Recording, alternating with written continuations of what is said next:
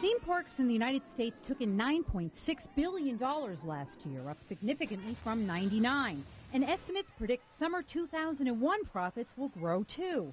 To keep potential visitors interested, theme parks in Orlando, Florida keep adding and expanding, hoping you'll choose Orlando as your vacation destination. You're right! Walt Disney World is hoping to tap into the popularity of the hit show Who Wants to Be a Millionaire with their latest attraction, Who Wants to Be a Millionaire Play It.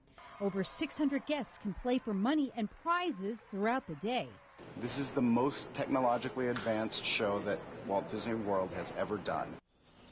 Inspired by a South African wildlife preserve, Animal Kingdom Lodge has opened at Disney. It's a six story deluxe resort surrounded by 33 acres of free roaming exotic animals like giraffes, zebras, ostriches, and flamingos, all within the guest's vision.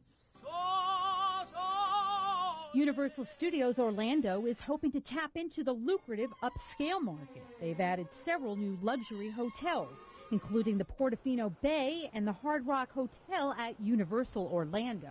Orlando is really about families, but as many people come to Orlando without families or kids as do. So we think these hotels, particularly Hard Rock, works well for both. SeaWorld Orlando has seen its attendance grow by 11% since 99, and no doubt Kraken, the newest, highest, fastest, longest, and only floorless roller coaster in Orlando, is helping attract visitors.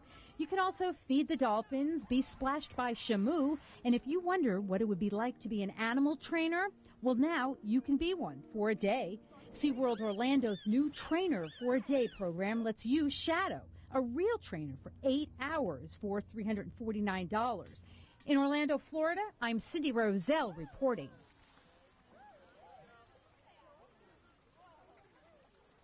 In Orlando, Florida, I'm Cindy Rozelle, First Business.